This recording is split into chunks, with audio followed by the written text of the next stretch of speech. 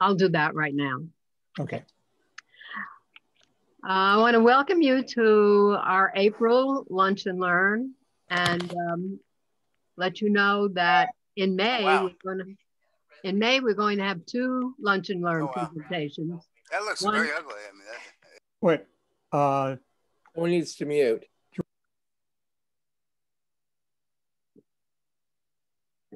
Okay. Uh, we're going to have two lunch and learns in May, one on May 6th and one on May 20th. Uh, they'll be publicized in this upcoming issue of The Voice and other places, but I just wanted to let you know. And um, as Michael was saying, this is kind of a difficult time in synagogue life, and one of those, and the the April, the May 2nd Lunch and Learn is going to address um, uh, changes in synagogue life uh, at that time. So be on the lookout for that. But now today, um, we're delighted to have uh, Michael Colby with us.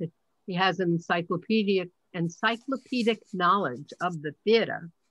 Um, and this is a wonderful follow-up to Cantor Steve's presentations about uh, the Broadway musical through the decades. Uh, um, you wanted to say, or I'll just jump in. You tell me. Well, I, I was. I also wanted to say a few words too. Yes, I want to have Wayne, I'm going to call on Wayne Senville to uh, introduce uh, his old classmate, Michael, and um, also to welcome all of the uh, former classmates of his that are tuning in today. So Wayne, take over. Okay, thanks, Judy. Uh, okay. So it's a real privilege to be able to be introducing Michael, who, as you mentioned, was a friend and classmate a few years ago during high school. Uh, and didn't reconnect with Michael until a few years ago when another friend of ours, Sam Hagen, got us together for a lunch in Brooklyn. Uh, and uh, Michael was good enough to be able to join Cantor Steve during his series, uh, it like um, two or three months ago on Broadway. And uh, I'm really glad that he uh, agreed to take the time to prepare a talk for us uh, today. So Michael's a musical theater historian and writer, but he's also worked as a school teacher. Uh, his own musicals have been performed off Broadway, regionally, and I believe even overseas, where I think I read that somewhere. And as, a, as an aside, I'd note that if any of you have any connections with our own lyric theater here in Vermont, alert them to Michael's musicals. Uh, Michael will be talking today about the state of musical theater, especially in light of COVID, what it takes to develop a new musical, and he'll also look back at some of the history and development of musicals. Uh, at the end of his talk, Michael promised me that he'll sing one of the numbers from the show Charlotte Sweet, which for which he wrote the lyrics. Uh, Charlotte Sweet received three Drama Desk nominations, including one for Outstanding Lyrics. And I really don't know why it didn't win that. Because we opened in the shadow of a Little Shop of Horrors. Ah, okay. Yeah, I noticed that was the winner. The uh, other who lost, uh, T.S. Eliot and I consoled each other. Yeah, Cats was up there too. Pretty yeah. interesting company. Uh, so Michael's also the author of a fascinating book, which I read just not too long ago. Michael gave me a copy when we got together at, uh, for lunch, and it's really a fascinating book that I'd recommend to you all. And I'll put in the chat box a link to it. Uh, it's about the legendary Algonquin Hotel in New York that his grandparents owned and operated and lived in for many years. And one of the wonderful things about the book, especially if you're interested in theater, are the many anecdotes that Michael relates uh, about the Broadway legends who frequented the hotel. I lived there for a long time myself. That's why I didn't see you as much in Woodmere. so uh, Michael said that his talk will be about 40 minutes or so, and he'll be pleased to respond to questions at the end of the talk. Okay. So thanks. Will, Willkommen, The Avenue, and all that jazz. Today we'll discuss the future of the Broadway musical. Why is this Broadway season different from all other seasons? Well, COVID has subverted the cliche, the show must go on. But with spring in the air and vaccinations in the arm, I and my Broadway buds have every hope of a re-blossom time. Here's a video I co-wrote on the subject featuring Tony winners and Broadway veterans. See if you recognize them. I'm sure you've seen a lot of them in Law and Order. They include Tony winner uh, Judy Kaye, Chuck Cooper. Um, we'll just watch.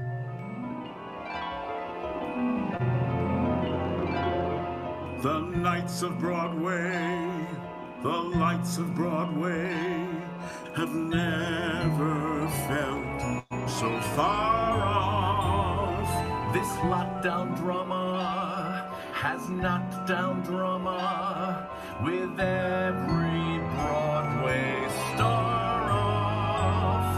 But while it's not what anybody wants, from darkest days there comes a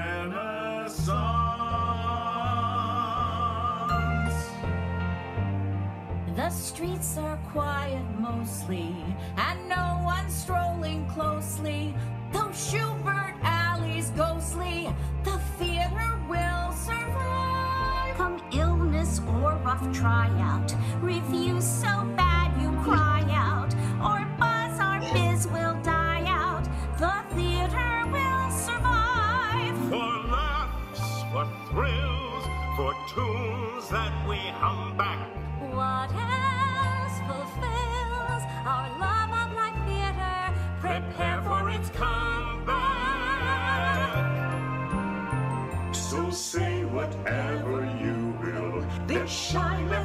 Our jewel, and time for its renewal. The theater will survive.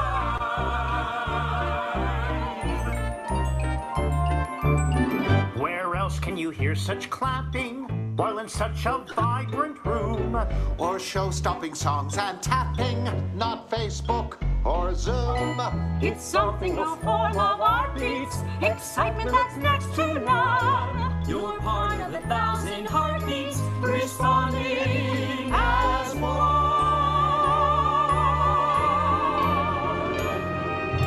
It's flourished since the great times, consoled through cold and bleak times. These months are not unique times. We walk through storms and thrive. Some say we lived, these may be our last. I can't predict. The show must go on as resilient as past days. Most murders made us wary, like Spider-Man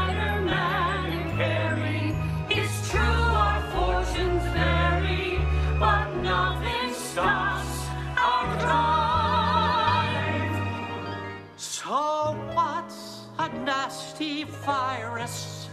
No setback will retire us. Our stage lights still inspire us.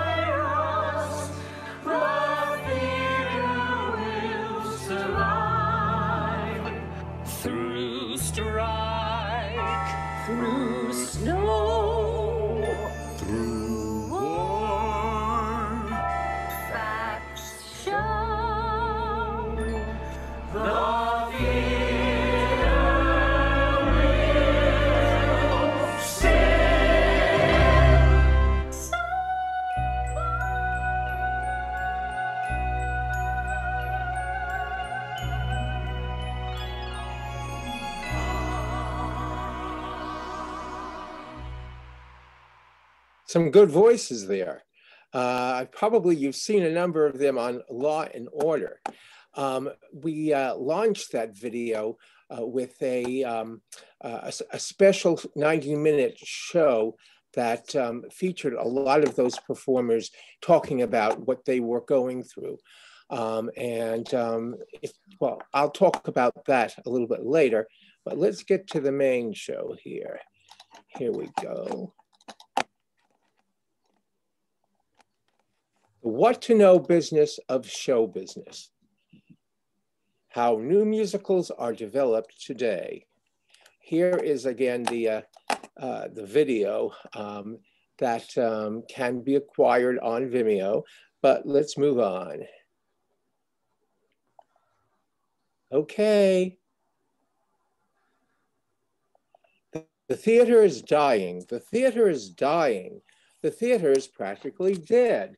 But actors keep acting and plays keep attracting, and year after year, there is something to cheer. Thus wrote Oscar Hammerstein II in 1953. This lyric is from the song Intermission Talk, uh, featured in the musical Me and Juliet. Even further back in 1938, George S. Kaufman and Moss Hart penned a play whose title became synonymous with the theater. The Fabulous Invalid. Time and again, reports on the demise of the theater have been trumpeted only to be drummed out by the basic need for the magical alchemy of live performance. This dates back to the rituals and ceremonies of ancient times evolving into the wide world of live entertainment. But nothing in recent times has challenged theater's existence quite like COVID 19. That's why composer Ned Paul Ginsberg and I created the music video you just saw to raise money for the Actors Fund. Still, as historians will point out, after the darkest recesses of the Middle Ages, including the bubonic plague, there rose a great renaissance Though on hold right now, the theater is expected to make a gradual comeback starting in the fall of, nine, of 2021. Tina Hora. But there are other problems. the, uh, the economics of theater uh, have just spiraled so that shows are becoming more and more uh, costly and tickets crazy. Here is some lost money. Of course, some didn't. Um, a typical Broadway budget for uh, a musical is upwards of eight to 14 million. Even an off-Broadway musical can cost 2 million nowadays. Reportedly, the first musical to lose more than a million was The Happy Time in 1968, and that won three Tonys, including it for its star, Robert Goulet. The musical version of King Kong required 36.5 million. When it lost the whole shebang, its backers went ape. The musical of Spider-Man lost even more, reportedly 75 million, even an average size musical like The Prom came in at 13.5 million and lost it, though it may met, probably made something back in the uh, television version. And ticket prices are no giveaway either, topping $175 for Broadway hits to uh, $1,150 for premium, premium seats to Hamilton. It can be cheaper paying for a bar mitzvah. So times certainly have changed.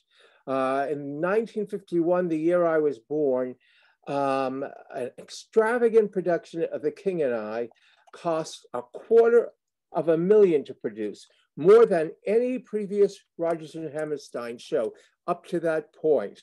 Uh, it could cost 40 times that today. Um, by 1956, when I saw my first Broadway musical, tickets were between $2.30 for balcony and $4.90 for orchestra. Today, that might not pay for an intermission soda. And uh, these are some of the shows that I grew up with. Um, to the late 1960s, I could see shows like Sondheim's Company and Follies for as low as $2. That wouldn't co cover taxes today. Uh, Babes in Arms in um, 1937, you could get tickets for $1 and $2. You could see Sweet Charity on twofers for $3. Um, uh, um, Les Miserables more recently cost $30. Um, and here are some of the shows that I got to see for a top of 990 in the 60s and 70s. Um, Gypsy with Ethel Merman, Bye Bye Birdie, Chita Rivera, Dick Van Dyke, Hello Dolly, Carol Channing, Zero Mostel, Fiddler on the Roof, Cabaret with Joel Grey and Jack Gilford, Hair with a lot of hair, and uh, finally, uh, 1776 uh, with uh, Ken, uh, um, with, with um, William Daniels um, and uh, Ken Howard. I don't know if that section is being blocked. I hope not. I think you could probably shrink um, the uh, panel of, uh, of, of, of, watchers. Uh, I That may affect some other slides. Anyway, let's move on. The traditional out-of-town tryout was transformed. Uh, the traditional out-of-town tryout, which transformed troubled shows like Hello Dolly uh, and Fiddler into smash hits, became rarer as production uh, costs uh, near prohibitive price tags, edging toward a million dollars. Um, but um, the out of town um, tryouts did continue, but not many anymore. Um, but they were needed, and its Detroit tryout Fiddler was so shaky on the roof, Variety predicted it would have a moderate run at best. Wrong. Besides out of town, more economical venues became standard. These venues included regional and resident theaters where expenses were fewer and subscription audiences were certain to attend. I was a founding member of another such source, the first nonprofit company off off Broadway exclusively for the development of new musicals. It was called the Stewart Musical Theater Lab at St. Clement's Church, which is still there um, on West 46th Street. Um, uh, these venues, oh, uh, incidentally, um, St. Clement's was also the home to Off-Broadway, um, uh, uh, Off-Broadway's American Place Theater, where Faye Dunaway first drew attention in the play Hogan's Goat, and Dustin Hoffman made waves in Murray Schisgal's Eh. Yeah, that was the title, Eh. You could tell it was by a Jewish playwright. Here are some Broadway hits um, that uh, developed through regional um, and nonprofit um, situations. All of them won the Tony their year. To General Verona, Raisin, a chorus line, Annie, of which I'll tell you some more insights uh, shortly.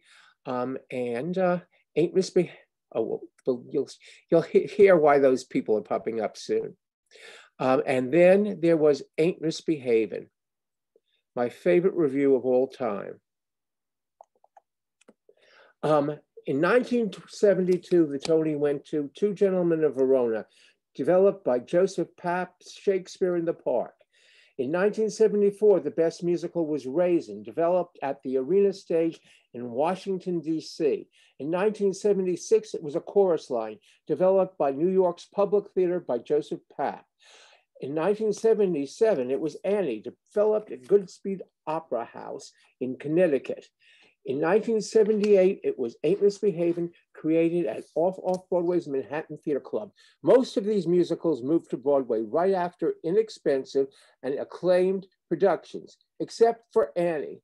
Annie, which received negative reviews during its tryout at Goodspeed, seemed destined for oblivion.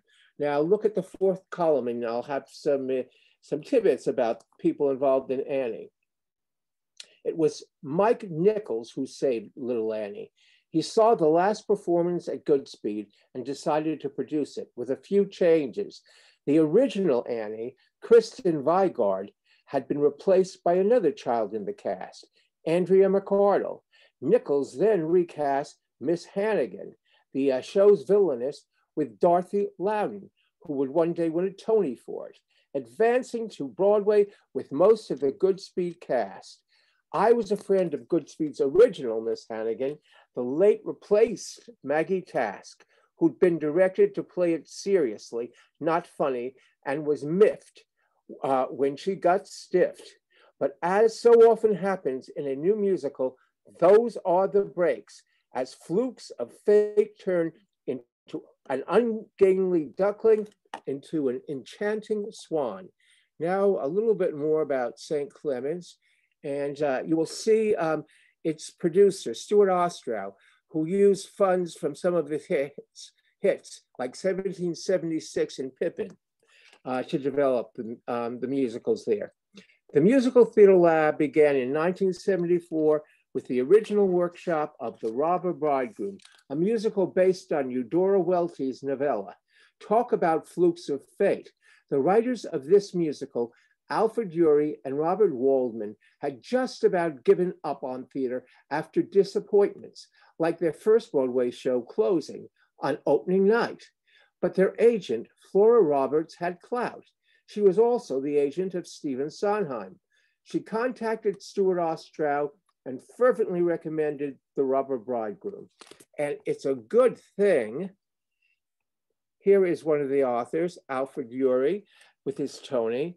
Uh, it's a good thing um, because Alfred Uhry might never have gone on to win the Oscar and Pulitzer Prize for writing Driving Miss Daisy, plus Tony Awards for other shows. I will talk a little bit more about The Robber Bridegroom, which was probably the first uh, musical developed in a non-profit uh, situation as part of a program. Uh, you see the Broadway cast, you see the touring company, um, you see the uh, program, then it was revised successfully at the Roundabout Theater off Broadway. So um, the musical lab um, workshop would cost a few thousand dollars as opposed to a million, with actors being paid only transportation fees for subway tokens. I was the production assistant in this, my first professional job. The experience was well worth the fact that I too wasn't being paid. And yet hundreds of actors auditioned at the prospect of helping to create new musicals as shepherded by Broadway heavyweights like Stuart Ostrow, among those auditioning were newcomers like Kevin Kline, who at first was turned down for being too stiff. This was likely a time, this was likewise a time of transition for Broadway veterans, facing slow years after decades of going from paying job to paying job. I remember Sydney Armus, who'd been in South Pacific, Mr. Roberts, and most famously in Wish You Were Here, in which he sang and played Don Jose of Far Rockaway. He was among those who, upon hearing of our salary, almost went bonkers. Our final cast top-lined Raul Julia, you see him in the left corner, at uh, virtually no cost, and other musical theater labs would feature the likes of Victor Garber, after uh, we had three weeks of rehearsals, half of which focused on an elaborate opening number that after our first public performance was the first thing we cut.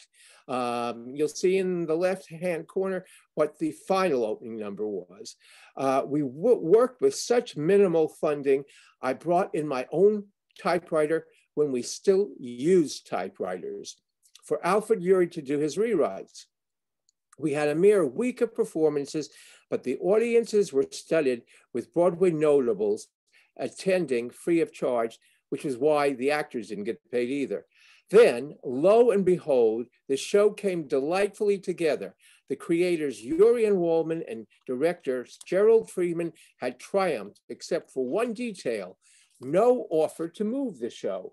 Fate stepped in again when on the last performance. The robber bridegroom was seen by Oscar winner John Houseman, who also ran Juilliard's acting company, which toured.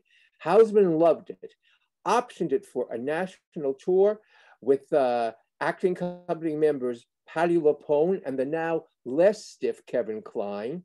And in fact, um, that was when Kline and Patti LuPone got their first major attention on Broadway. The show played Broadway twice, once with the acting company and once for an extended run with many of the workshop cast. And the Roundabout Theater revived it in 216. On the bottom, in the middle, with cast member Ernie Sabella, who was the voice of Pumbaa in The Lion King, and Stephanie uh, Copeland, who was the uh, second in command and taught me all the ropes. You see Stephanie uh, again uh, in the far right. She's with Rhonda Coullet, who was the original leading lady. You see her um, in the uh, left-hand side uh, with the opening number. Barry Bostwick, whom um, was the original choice but wasn't available, and Raul Julia replaced him. Barry Bostwick won the Tony Award. And in the middle of Stephanie and Rhonda Coullet, you see a proud Alfred Uhry.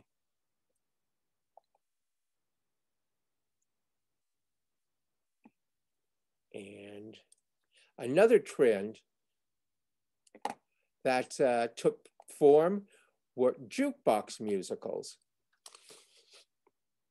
Off off Broadway and uh, workshops and showcases proliferating uh, most notably launched a chorus line in Little Shop of Horrors, and then came Ain't Misbehavin', based on songs by Fats Waller. It not only started off off Broadway, it not only started off off Broadway, but epitomized a growing trend in musicals, the jukebox musicals. Here are some others. Jersey Boys, Beautiful, uh, The Cher Show, and Mamma Mia. These could be musical reviews or musicals with plot, built around songs made famous by songwriters and or performers. Add to this category um, Jersey Boys, using hit songs of the Four Seasons, Beautiful, telling the life and songs of Carole King, The Cher Show, and Mamma Mia, based on ABBA, the singing group, not the Hebrew name for father. Another trend that exploded during the 1970s then the 1980s was imports of foreign hits. They had a distinct advantage over American musicals. They'd already succeeded in other countries.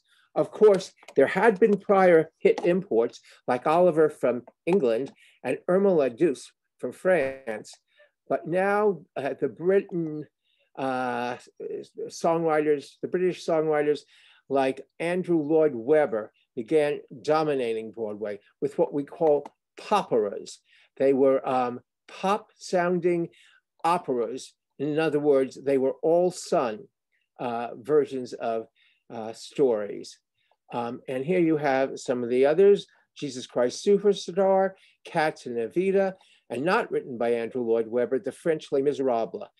At last, producer, um, at last, producer Harold Prince would no longer worry uh, about the increasing hurdle of capitalization when such Prince classics as Sweeney Todd and Follies lost most of their investment.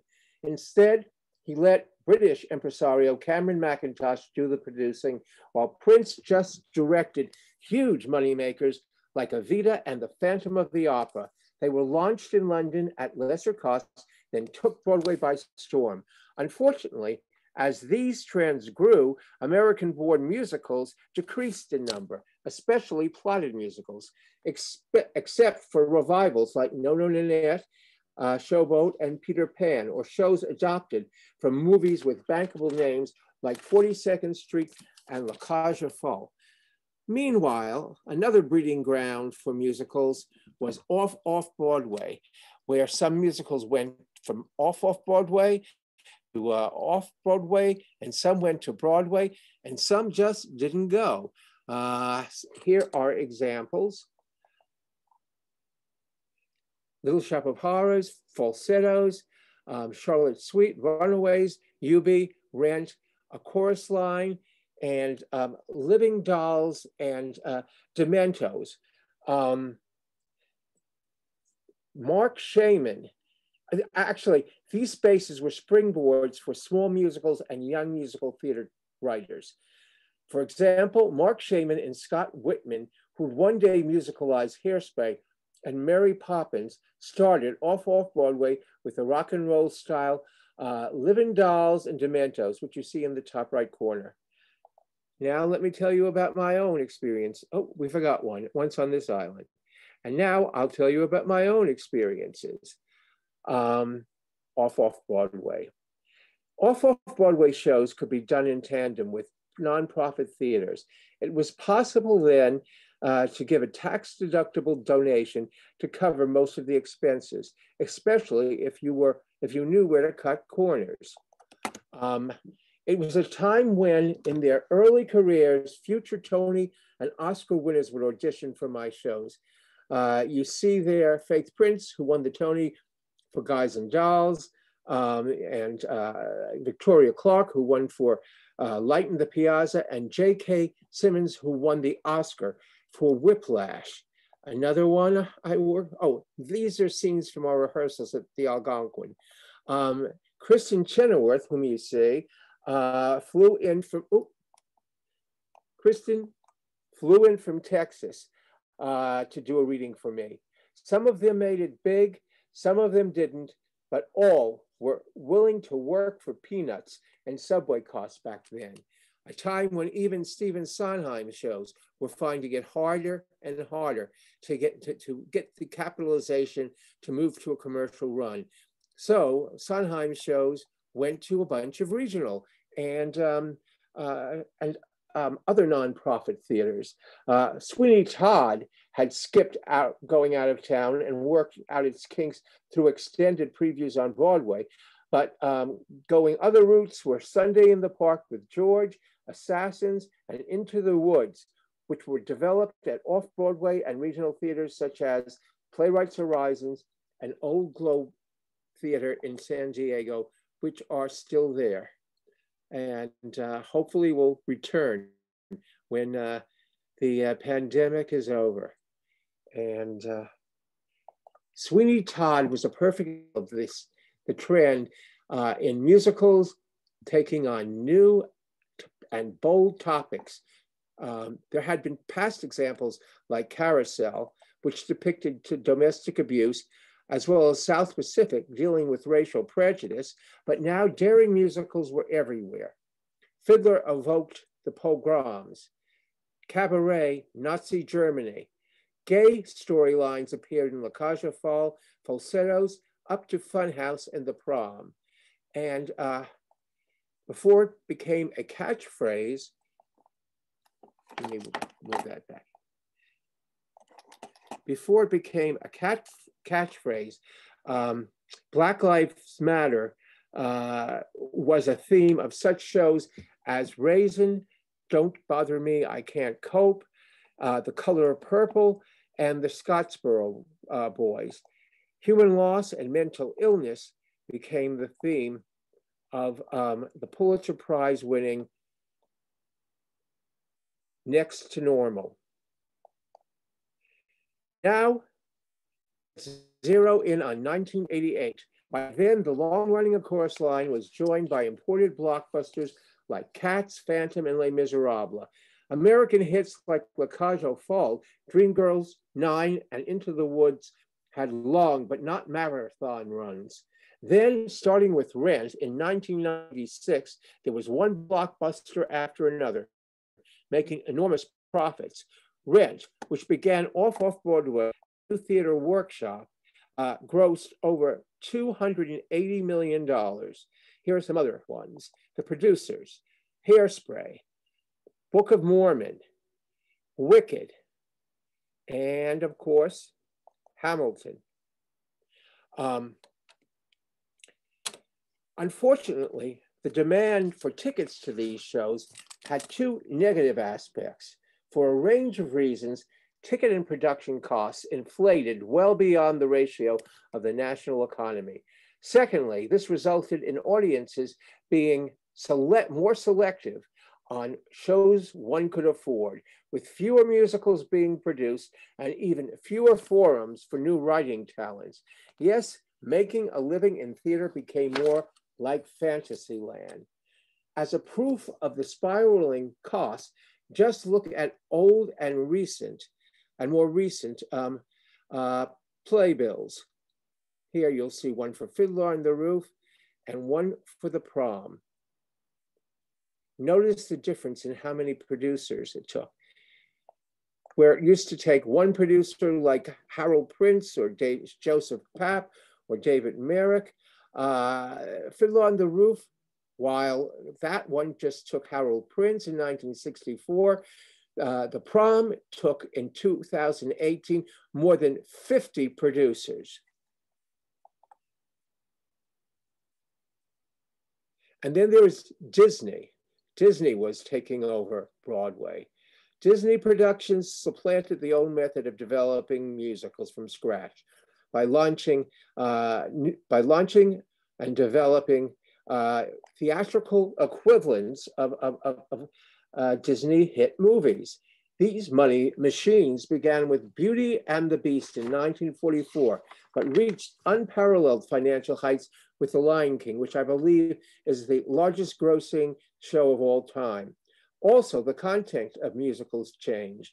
If your favorite kind of musical was a traditional one uh, with a full non-synthesized orchestra, you'd more likely be satisfied by revival, like uh, Lincoln Center's uh, The King and I, My Fair Lady in South Pacific. Uh, by contrast, look at the Tony nominees in um, 2010. You won't find anything like Hello Dolly or Funny Girl or Kiss Me Kate uh, in this batch. Um, the best musical nominees uh, were, uh, oh, the best, the, the best musical nominees were uh, Memphis with its Motown sound, American Idiot, Rock, Fela, Afrobeat, and Million Dollar Quartet, Rock and Roll. Flash forward. Yes, there are Tony nominations for shows that opened in 2020, even if they've closed. They will not be awarded until COVID ends, and hopefully these shows all reopen. We're not sure of that. Um, the best musical uh, are Jagged Little Pill, a book musical built around the songs of Alanis Morissette, Tina, another jukebox musical presenting the life and songs of Tina Turner, and Moulin Rouge, based on the film, which itself was a ju jukebox musical of popular, mostly contemporary songs. So nowadays, where does this leave original musicals and new songwriters of the genre? I mean, after all, during the 1920s, you'd get new shows almost every other year written by the likes of Gershwin, uh, Cole Porter, Irving Berlin, Rodgers and Hart. During the 50s, there were Rodgers and Hammerstein, Frank Loesser, Lerner and Loewe, and Jule Stynes. From the 60s on, Jerry Herman, Bock and Harnick, Kander and Ebb, and so forth. By the way, most of them were Jewish. And uh, here's a uh, list of Jewish uh, Broadway songwriters. Irving Berlin, Annie Get Your Gun, the Gershwins, Porgy and Bess, uh, Jerome Kern, Showboat, Rodgers and Hart, Babes in Arms, E.Y. Harburg, uh, the, Wiz the, the, Wizard of Oz, um, Leonard Bernstein on uh, West Side Story, Harold Rome, um, Wish You Were Here, uh, Alan Jay Lerner, My Fair Lady, Burton Lane, Finnegan's Rainbow, Bob Merrill, uh, Carnival, and here are some more of Broadway's Jewish songwriters.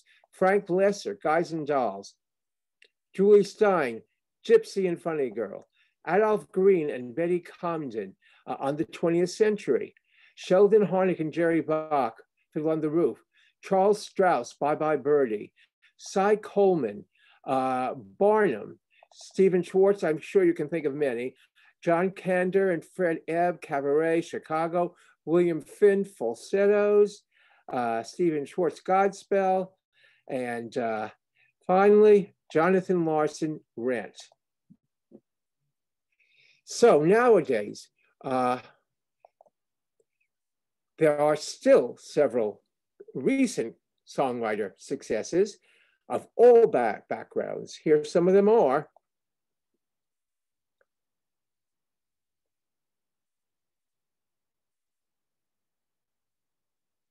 and those are their shows.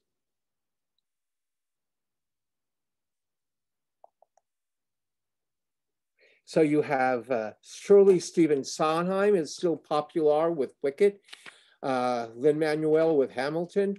Then there's Robert Lopez of Avenue and Q and Book of Mormon, Lynn Ahrens and Stephen Flaherty of Ragtime, and Ben Pasek and Justin Paul of Dear Evan Hansen. But there are dozens of other accomplished writers who don't have the opportunities they might in past days.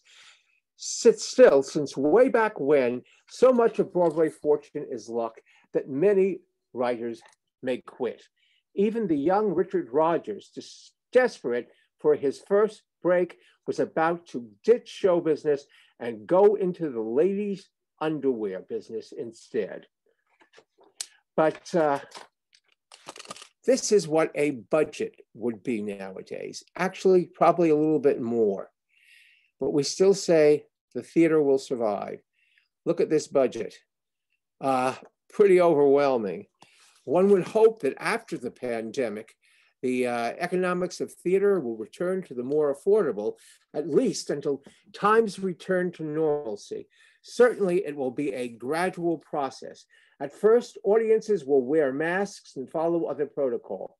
There's the need to install ventilation and other safety precautions. On the other hand, the size of both shows and audiences will be limited. Regular theater goers once were largely drawn from the tri state area, but that changed as ticket costs increased and less expensive intermedia took hold. To fill theater seats, there was more of a dependency on tourists, which will no longer be the case until travel and tourism build back, which may take some time. That's why, for a while, larger scale shows may have to offer more audience friendly prices and theater unions reduce salaries and other weekly expenses, but we don't know. Time will tell. I'll be happy, happy to elaborate on particulars in Q&A. Um, and let's go back to the theater We'll survive. As I said, um, our all-star cast made the video, which uh, is 90 minutes and can be um, acquired on uh, Vimeo uh, on demand. And we had extra um, special guests like um, Ben Vereen and uh, the original Sweeney Todd, Len Cariou. Um, but now, just before Q&A, I thought you might enjoy a video of me performing from the show Charlotte Sweet, which takes place in the Victorian Music Hall. This number is in the tradition of double entendre patters, patter songs. So let me get it going. Oh, I guess I will have to get out of this.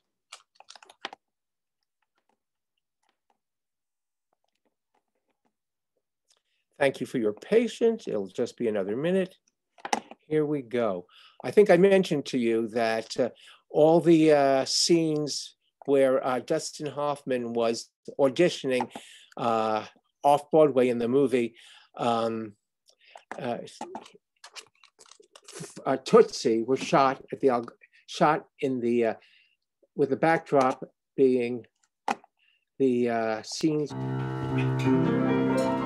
Oh, me wife and I have a vegetable love, so she'll cook and fry every type for me and dove. Her dishes hot and cool tempt me like a fool. Till I get them, I grow edgy, so I'm nicknamed Veggie Reggie.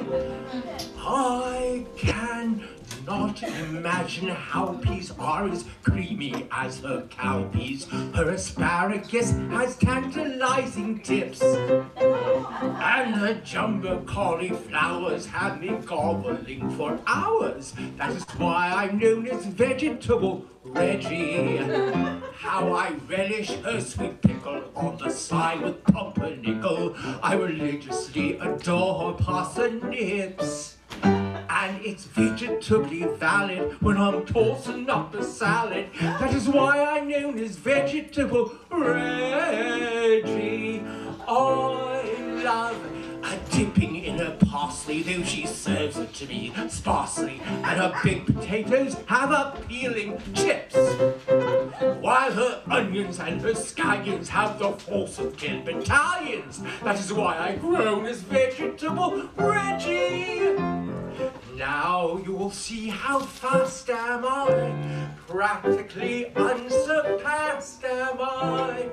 I can not imagine how bizarre is creamy as a cow piece for asparagus tantalizing mm-hmm. tips. Mm-hmm. And your jumbo cauliflowers has me gobbling for hours. That is why I'm known as Vegetable Reggie. How I relish so sweet on the side with pumpernickel. I religiously adore parsnips. And it's vegetably valid when I'm tossing up a salad. That is why I'm known Vegetable Reggie. I love a dipping in a parsley lotus as a dippy sauce. Yellow big potatoes have appealing chips. While unzealous candidates have the faucet in Italians. That is why I'm known as Vegetable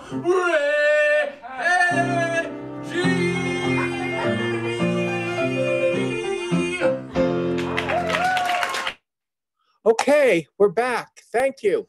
I uh, apologize for a few of the fumbles, but um, I want to, in the meantime, I want to uh, mention, I don't know if I got this information uh, uh spoken about um, the um, scenery from Charlotte's Sweet was why Dustin Hoffman appeared because um, he was um, uh, he auditioned in Tootsie two scenes that um, had the Charlotte Sweet um, uh, scenery as its backdrop.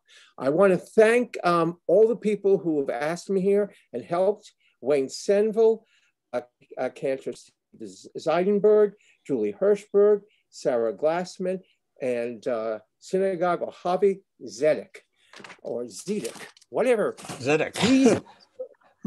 Michael, can you can you just before we get to Q and A, can you just tell us a little bit about Charlotte Sweet and put some context on the song? So, oh, I thought I did. Well, oh, um, okay. It, took, Charlotte Sweet was um, and it, uh, it, took place in a uh, Victorian music hall uh, where uh, all the uh, the, the uh, leads had freak voices, and one was the person you just saw, well, was was um, Vegetable Reggie, who um, uh, did uh, naughty patter songs and had the fastest voice. Other people had the highest voice, the lowest voice, a schizophrenic who duetted with herself, and so forth.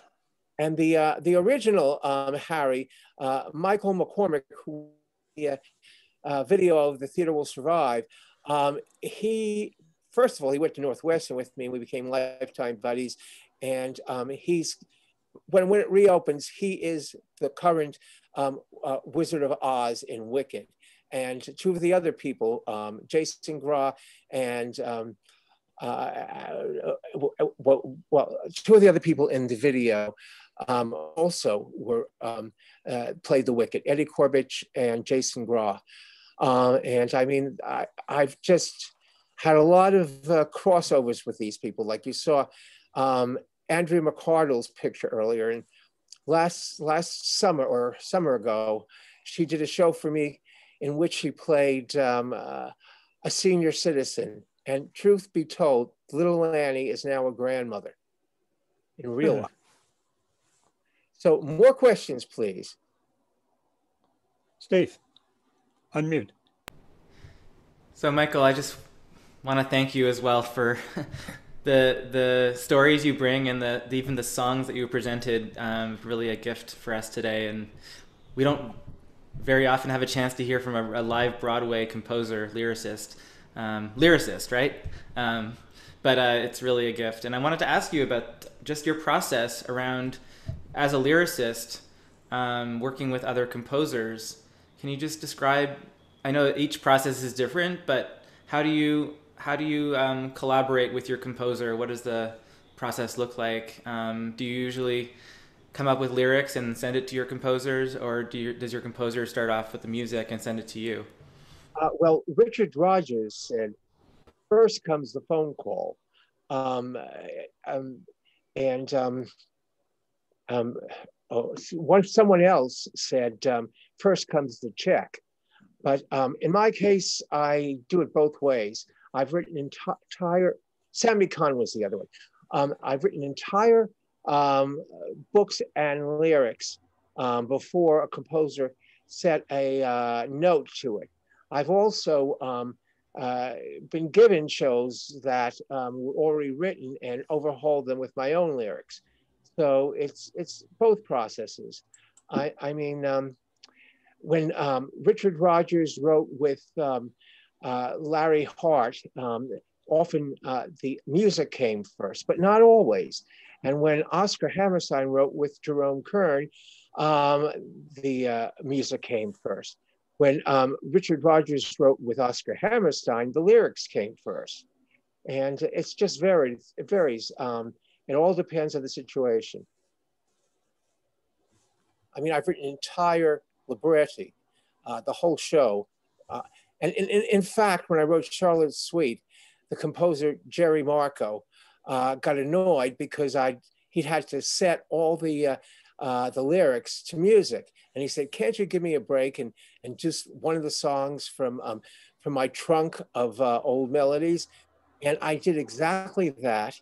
And um, he came back. It was called "Bubbles in My Bonnet," and he came back to me and he said, "You know, I had no trouble setting any of the lyrics, but this bubbles in my bonnet, I can't figure out what to do. And I said, Jerry, I wrote it to your tune as you asked. Sure. So there's a question from Jeff. Do you want to unmute and ask? Yes. Um, wondering if you have any advice on developing new musicals. I've currently got one that I wrote the book music and lyrics for. It's in its third stage reading now. Um, you've gone into great detail about how difficult it is, and I know that the it is. I, um, do you twice as hard? Yeah. Um, well, my advice is um, of all, see as many shows. I'm sure you've seen a lot of shows and listened to it, and you assimilate the style. Um, then um, it's good to network, um, and you may even ha- and, and find people who would be interested in do- doing it for less money. I, I mean, to be honest, I had doors closed left and right, and then I had to um, uh, raise the money for uh, my first shows like uh, Charlotte's Sweet myself. And then other doors opened. But I have to say, I was happiest with the productions when I um, supervised and co produced them myself. Um, but I, I, mean, back to the days of the Robber Bridegroom, we were doing shows for a couple of thousand to nothing, and actors were coming and uh, do it um, for very little. Now, I think even for a reading, Actors Equity is asking for like 200 to $300 to pay equity uh, members. So, um, and then uh, one of them, I led the lad, um, which was a Christmas musical. I have Jewish music as well, but um, we did that um, entirely as a, a concert. And the actors went around with their scripts like they were carolers and it was all sung and all rhymed. So uh, we did, didn't have to get the uh, permission from Actors Equity. We did it as a reading, and it was the most elaborate reading you've ever seen. So you have to be innovative and um, patient, and have always have a backup plan as far as making a living. I can't say that I've ever really made a substantial living. I've gotten royalties. Some of my shows have been optioned, but I do it for the love more than anything else. Yeah, I'm not worried about making money from it. I'm just trying to get it produced somewhere and hoping to follow the rules that they say in the producers. Where do you live? Huh. Jersey City. Okay, I mean I'm in Jersey too. Oh, okay. So try to get involved with if and when they reopen either Jersey theaters, of which there's some good ones that make yeah. it reading, okay, or, or New York. Okay, thanks. Other, other questions? Well, I, have got one question myself, Michael. I mean, I wasn't clear from your presentation whether overall you're optimistic or pessimistic about the future for uh, for oh. musicals. Um, I think based as as my uh, video suggests, I will always love and try to work in the theater. Um, it's anybody's guess how timetable will be on theater re- returning back to normal. Uh, I mean, there are people making plans for the fall. I'm making plans for the fall, and um, it's. I mean, you really have to be madly in love with the theater because there's so much um, frustration and rejection. And um, I don't know anyone in the theater that I work with, except for a few lucky ones who, who just lucked out. Um, but I don't know anyone who has had consistent, um, a consistent sort, source of income from the theater. Um, you, you um, I mean, Robert Anderson, um, who wrote Tea and Sympathy and other plays, said you can make a killing, but not necessarily a living. And uh, so again, um, I, I know there are a lot of actors who hope to go to California and get a TV pilot, which allows people like um, uh, like like like like like like like um, Hal Linden and um, and and um, Valerie Harper and others to return to hmm. Broadway because they knew that their money was coming. I have a mm. friend, um, a very close friend named Lori Tan Chin, um, who struggled for years, um, and now she's on um, uh, Dora from Queens in the second lead role, and she finally mm. could move to a new apartment. Hmm. Been doing it for years. And um, I remember sitting with Kristin Chenoweth uh, when she did the Lad and her worrying that no one would hire her again. She had been in Texas and they did a production of, uh, of Whoopi and she was hoping to get hired. And they went with someone who was living it in, in Texas. Uh, uh, Kristin was from Texas, but she had moved to New York. And of course, she did all right for herself.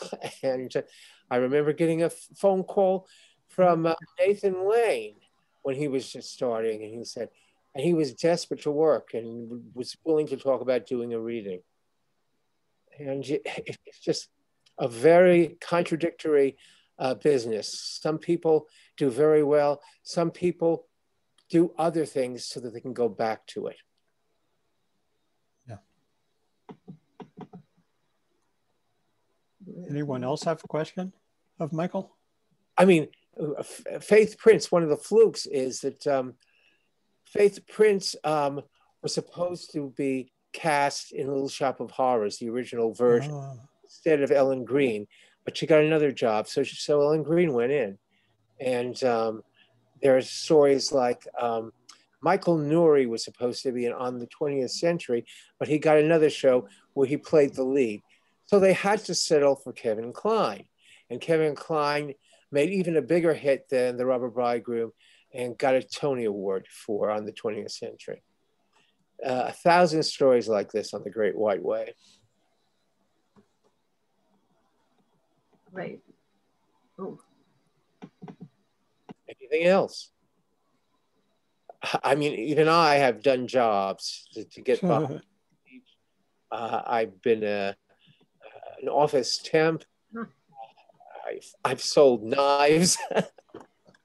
and, uh, but I also was very lucky that um, I had the Algonquin, uh, which uh, was a place where we rehearsed. Um, there was a space there called the Annex, uh, which uh, rumor hath it during the uh, Roaring Twenties was a speakeasy. Speakeasy, but it became a storage place, and we cleared it out and then I'd have um, actors coming for rehearsals. Uh, we, we served lunch. We served um, really nicely uh, done lunches. And suddenly I would see Broadway actors who weren't in my show suddenly showing up for lunch. And um, uh, it, it, was just amazing who would come through those doors to audition. Uh, Judy Alexander.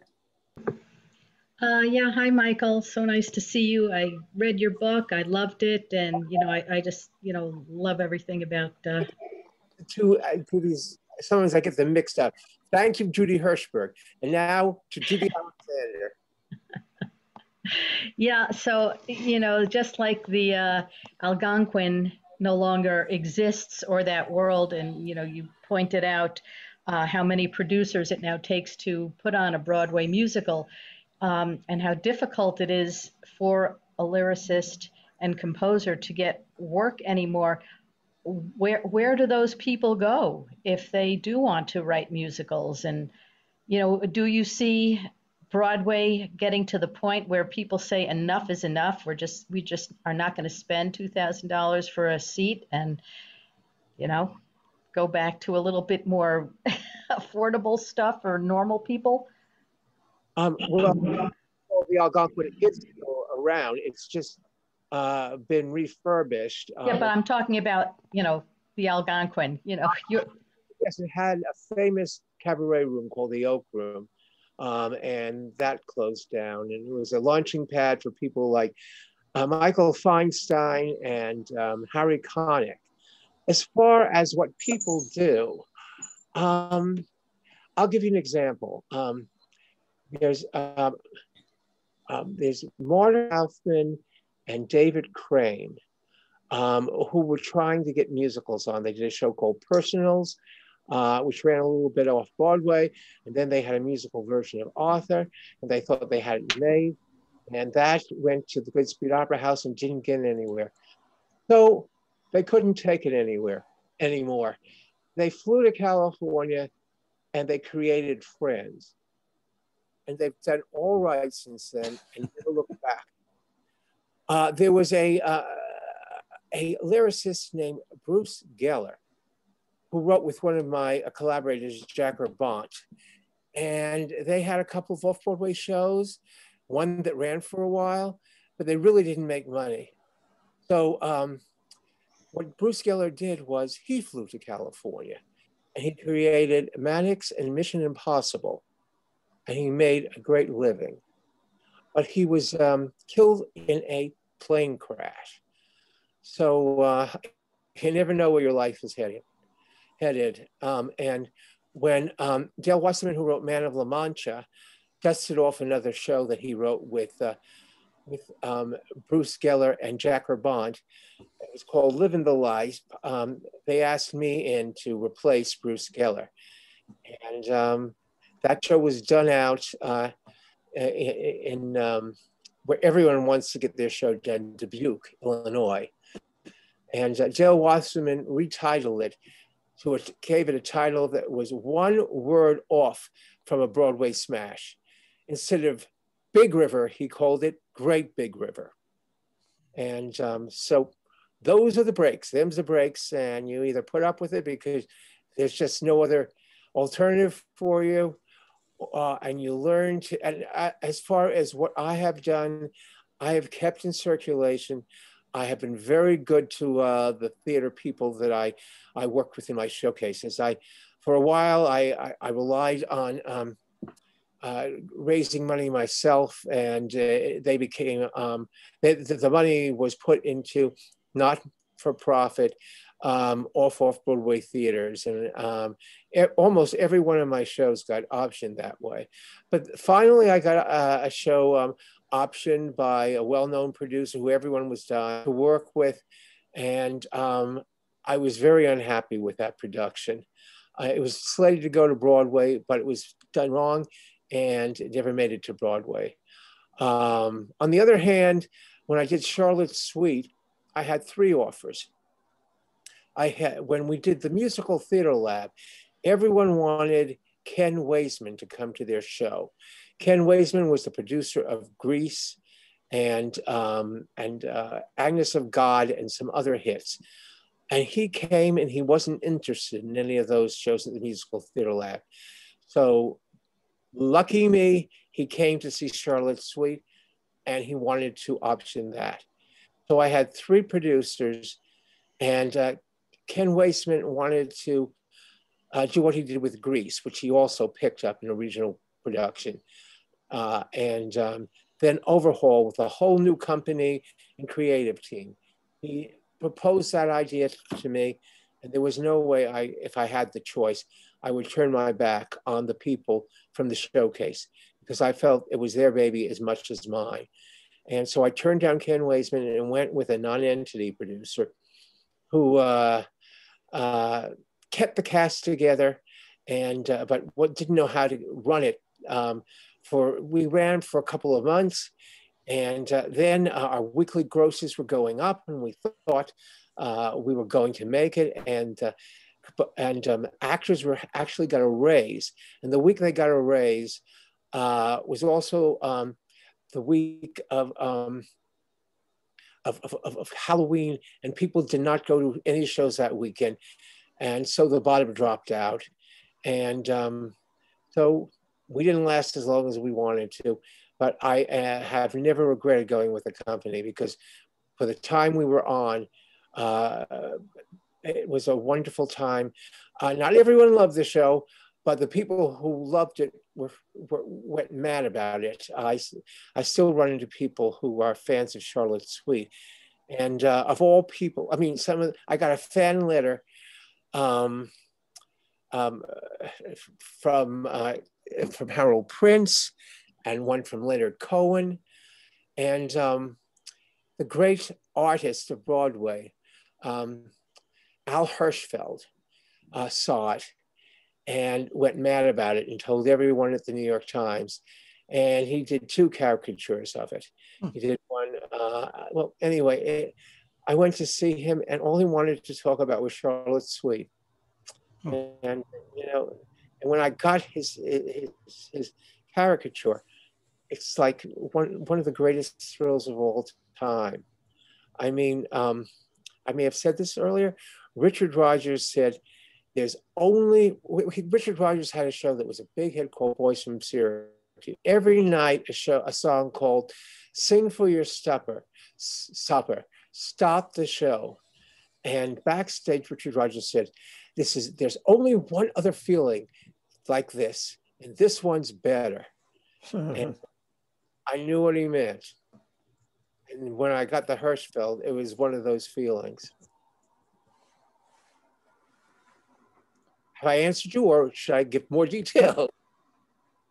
Well, I was referring more to, you know, where does somebody now, like, uh, I guess a little bit of what Jeff was saying, um, that, but in terms of where you see the future of Broadway going, uh, you know, like the, the last three shows that you showed, you know, Tina, um, right. Remember, you know, the, and with these like mega lists of producers, you know, where there used to be a David Merrick and, you know, a. My hope is that after after the uh, pandemic, people will pull back and negotiate for more. I mean, the reasons why you take it takes so many producers is that um, show costs and show tickets are disproportionately uh, spiraling. Um, I was told that the equivalent to a $12 ticket in my time would be uh, with factoring all everything in, it would be 84th 80 for these days. But it isn't. It's $125 and, and God knows what. Oh, and uh, people have to resort to um, half price and discount tickets. And uh, it's not the same. And um, newcomers, oh, so much of it is luck and so much of it is, is um, being in the right place at the right time. Um, I mean, when Jerry Herman um, had he'd done one show, Milk and Honey, and then he heard that Derek, David Merrick was producing, uh, was, was auditioning people for Hello Dolly, and um, and and Herman was able to write four songs during the weekend, uh, and he was one of several people, and he got the job. Um, the show Kiss of the Spider Woman uh, was part of um, a program in upstate New York to develop new musicals. Um, and uh, uh, Kiss of the Spider Woman by Kander and Ebb and Terrence McNally was the first show, and it got panned. And they were virtually giving up on that until Harold Prince um, helped raise the money to take it to London uh, with Chita Rivera. And that production meshed. Like I told you, um, there are so many elements, and without um, going out of town, it's harder and harder. So you find places. Off off Broadway theaters. That's what I did. I got involved with uh, the musical theater lab.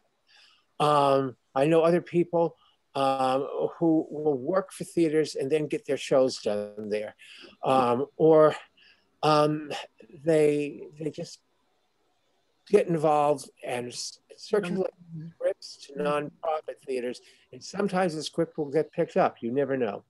I'm sorry, interrupting anyone. Um, am I giving enough details? I'll give more. No, that answers it. Thanks. Okay. Yeah, Um, it's hit or miss. Um, uh, you know, um, poor um, um, the, the, Larson, the uh, the the writer of Rent, um, he got involved with various theaters, and um, he got his friends to come to see Rent when there were backers in the uh, the audience, and they were um, having readings, and um, that got um, picked up by uh, the right producers, and then it went to a workshop, and it got raves, and then after all that, poor um, the poor guy um, died on the opening night of, uh, of Rent. Yes. Judy, Well- you're muted. Yes. Yes. Judy Hirschberg, uh, you're muted. Jonathan. Am I, am I unmuted now? Yeah. Okay. Um, there's a young woman who grew up in Burlington who uh, is um, started college in New York City and auditioned for a part in the, the revival of The Music Man, which she won. And Music Man was supposed to open uh, this spring. Do you know anything about that or, or uh, how a play like that might come back? It's supposed to come back uh, if the elements allow um, in uh, October or November. The only thing, even worse than COVID, what's happened is that uh, its producer, um, Scott Rudin, is going through a through a um, bad reputation, expose period. So, and um, the leading lady of one of his other shows, uh, Moulin Rouge just dropped out. She won't return because of what's happening with Scott Rudin. So, um, you know, the, the, breaks are phenomenal. Um, I um, I had a cousin who came to New York, and um, she became part of something called the, the American Dance Machine. She was working right away. And when I was try, I met with her for the first time. I said, "You better have backup." Um, plans. And then she got into a revival of West Side Story almost overnight. But I'll be darned, she hasn't worked since. Mm. So you don't know. The draw of the luck, the just yeah. so many, as I gave you the examples of um, uh, of Alfred Uhry, who was going back to teaching and giving up. Uh, and then he would have never written uh, Driving Miss Daisy. And won uh, another Tony for Last Night of Ballyhoo and for a parade. And, um, John House, I did the seating, and John Houseman came in the last night, uh, and there were no other offers. And thanks to John, John Houseman, Alfred Uhry continued. And um, as I said, Annie was a hard luck life. Um, it got very mixed reviews and negative reviews. And then on the last night, um, the producer director, uh, Mike Nichols, he, it was recommended that he go. And um, he loved it and saw the possibilities. Sometimes it's the right critic coming. I know shows where um, one critic helped save it. Uh, and um, it is really Russian roulette. I mean, yeah. So, Michael, I wanted to thank you again for taking the time to join us. Uh-huh. And uh, any final questions anyone has before we before we close out? I think it was it was a wonderful, wonderful talk. Uh, it's recorded at the temple. Can yeah. you send can you send the links to that? Yeah. And if possible, you can uh, edit out when I mumble a little bit. That's not possible. no. And I'd also want to invite if, if folks from Woodmere want to stay on for a couple of minutes. Uh, Sarah, is, is the Zoom room going to be needed right away? I don't know if Sarah is still on. I don't know where Sarah is. I don't know where Sarah is, but um, Oh, but um, I thank you too. I thank you very much. And um, so I will And- hang, so I will hang around for a while afterwards. okay, very good. Thank you all, and hope to see you twice in hope- May. Thank you. Thanks. Bye. Thanks, Michael.